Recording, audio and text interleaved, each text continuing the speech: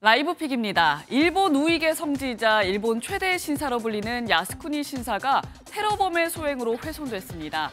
중국의 한 SNS에 올라온 영상인데요. 중국인으로 보이는 이 남성이 신사의 돌기둥에 빨간색 스프레이로 화장실을 뜻하는 영어를 쓰고 기둥에 올라가 소변을 보는 듯한 자세를 취합니다. 일본 도쿄에 있는 야스쿠니 신사, 일제 전범으로 숨진 246만 6천여 명의 영령을 추모하는 곳으로 태평양 전쟁 A급 전범 14명과 전쟁에 강제 동원된 한국인 2만여 명의 위패도 안치되어 있는데요. 이러한 테러에 일본은 즉각적으로 가림막을 치고 스프레이 제거 작업에 들어갔습니다. 그리고 기물 손괴 혐의로 남성의 행적을 쫓고 있는데요.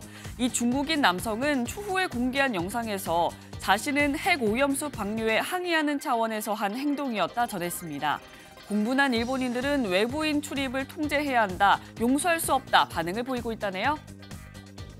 어제 SH 수협은행 MBN 여자 오픈 3라운드에서 이예원 선수가 대회 기간 내내 보기 하나 없이 완벽한 플레이로 우승 트로피를 품에 안았습니다. 선두에 2타 뒤진 공동 4위로 마지막 날 경기에 나선 이예원 선수.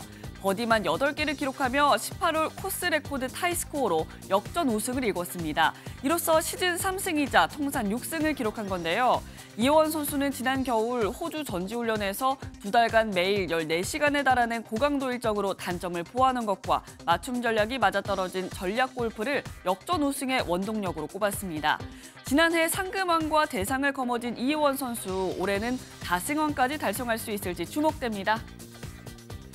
지금까지 라이브 픽 전해드렸습니다.